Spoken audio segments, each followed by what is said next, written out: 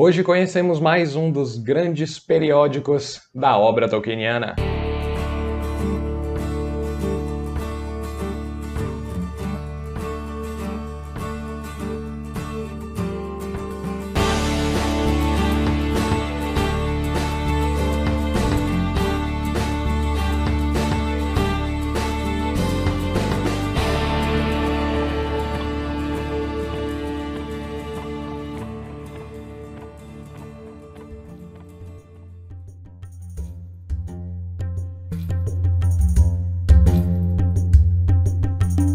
Olá Tolkien Talkers, tudo bem com vocês? Hoje é dia de falarmos sobre o Viniar Tengwar. Mas antes de começarmos, não se esqueça, já deixa seu like, comenta, se inscreve e ative notificações para não perder nenhum novo vídeo. Assim como Parma, o Viniar Tengwar tem uma história diretamente relacionada com Tolkien.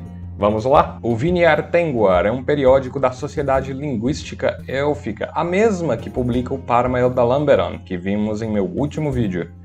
Em um certo pseudo-Quenya, seu nome quer dizer algo como newsletters ou boletins informativos. Digo em pseudo-Quenya pelo fato de estar de certa forma incorreto. Assim como Parma, muito conteúdo sobre o idioma élfico foi sendo publicado após a criação do nome do periódico. E portanto o correto seria Vinietenguar, mas o nome original foi mantido em nome dos velhos tempos.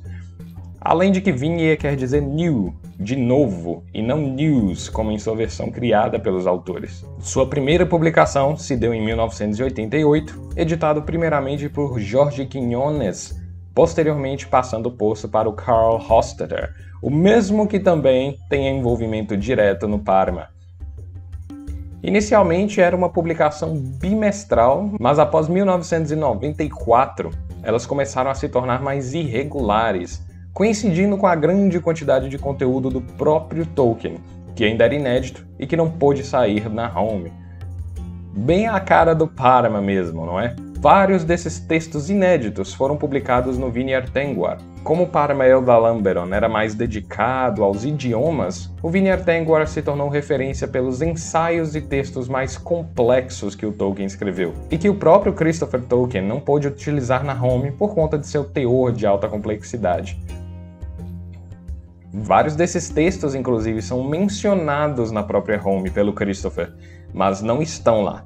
Somente um tempo depois que esse conteúdo se tornou acessível, provando mais uma vez que Tolkien escreveu muito, mas muito mesmo. Em suas 50 edições publicadas até então, grandes destaques que apareceram por lá são os textos do Osamu Ekenta, que é um ensaio sobre a comunicação pelo pensamento, escrito pelo próprio Tolkien, o Narkelion, que foi o seu primeiro poema élfico escrito, dos rios e faróis de Gondor, cinco orações católicas em Quenya e muitas e muitas outras. Houve até uma ilustre participação do mestre Ronald, que publicou um glossário das etimologias. Mestre Ronald não brinca em serviço. Sua última edição, até então, foi publicada em 2013 e é possível adquiri-la sob demanda em volumes que contemplam 10 edições do periódico por vez. E se você, assim como no Parma, se interessa em conhecer esses diversos escritos inéditos e exclusivos do Tolkien, não pode deixá-los de tê-los em sua estante.